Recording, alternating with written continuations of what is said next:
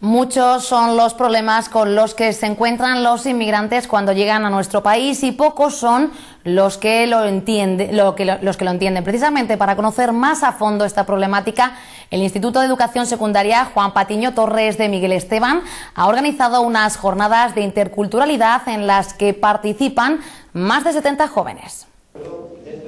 Impulsado por las dificultades económicas de Argentina, Ariel Amada llegó hace cinco años a nuestro país. Tras recorrer Madrid, Sevilla, Galicia y Cataluña, Miguel Esteban ha encontrado su sitio. Hace más de dos años que vive en esta localidad toledana y ahora ha compartido con los jóvenes de este municipio su experiencia. Valores, sentimientos y dificultades de un inmigrante. Las costumbres, la familia.